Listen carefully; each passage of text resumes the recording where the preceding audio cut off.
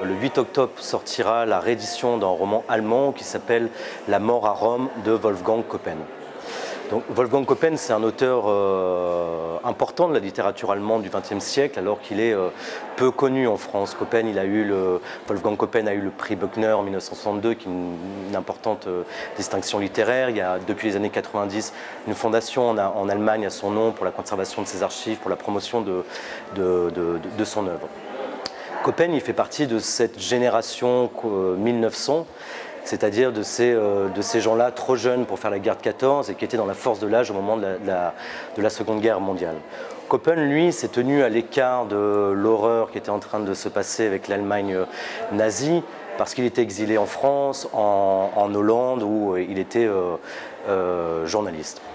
Donc c'est après la Seconde Guerre mondiale et après la défaite que sa force créatrice euh, euh, s'éveille.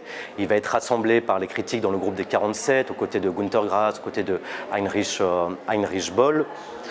Et il va publier coup sur coup dans les années 50 trois romans Pigeons sur l'herbe, La Serre et La mort à Rome que nous, que nous publions en octobre. Ce sont tous des textes qui ont choqué l'Allemagne de l'après-guerre parce que c'est une critique virulente des milieux gouvernementaux de l'après-guerre et également de la société, euh, euh, allemande. Donc dans La mort à Rome, on suit un personnage qui s'appelle Siegfried, qui peut être lu comme une sorte de double de, l'auteur. C'est un jeune artiste, c'est un, compositeur qui est à Rome dans les années 50 pour assister à la première de sa symphonie. Dans ce Rome en ruine de l'après-guerre, il désespère, il est hanté par un passé qui ne passe pas, il est, bouleversé par son éducation, euh, par son éducation nazie et ne sait pas vraiment comment aménager son, avenir. Il est aussi, c'est très important dans le roman, euh, hanté par les crimes commis par la génération précédente sous le, régime nazi. Et petit à petit, au fil du roman, Siegfried va se rendre compte que tous les membres de sa famille sont à Rome à ce moment-là ses parents, qui sont euh, des anciens administrateurs du régime nazi, qui sont euh, des bourgeois bontins qui sont ralliés à la démocratie naissante en, Allemagne. Il y a son cousin qui est aussi une autre figure de, de, la jeunesse qui lui se réfugie dans la religion, qui est à Rome pour essayer de devenir prêtre. Et surtout, le personnage principal, un des personnages pardon, central du roman, son oncle, Gottlieb Judejan, qui est un ancien nazi qui est passé à travers les mailles du filet, qui est réfugié dans un pays arabe et qui est à Rome pour négocier des contrats d'armement.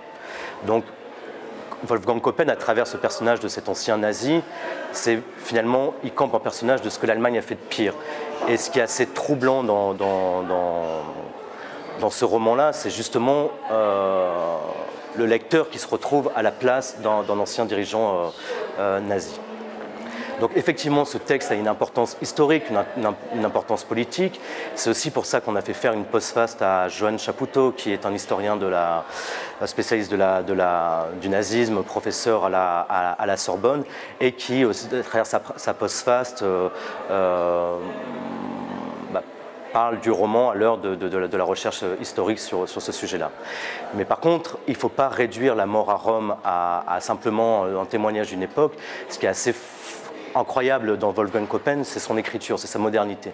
C'est-à-dire qu'on est dans une écriture qui est très très nerveuse, qui, épouse les flux de conscience des personnages. On se retrouve plongé à, travers l'intériorité de, chaque personnage, de Siegfried, de, l'oncle nazi, des parents. Tout le monde parle tour à tour. Il y a une variation sur la narration, et ce qui permet, ce qui est troublant, et ce qu'on peut comprendre pourquoi ça a choqué euh, l'opinion allemande, parce que c'est une, critique très forte de ce que l'Allemagne est en train de devenir, de ne pas régler ses comptes avec son passé. Et à travers tout ce procédé narratif-là, Coppen plonge les lecteurs à travers la, tourmente euh, que subissent chaque personnage.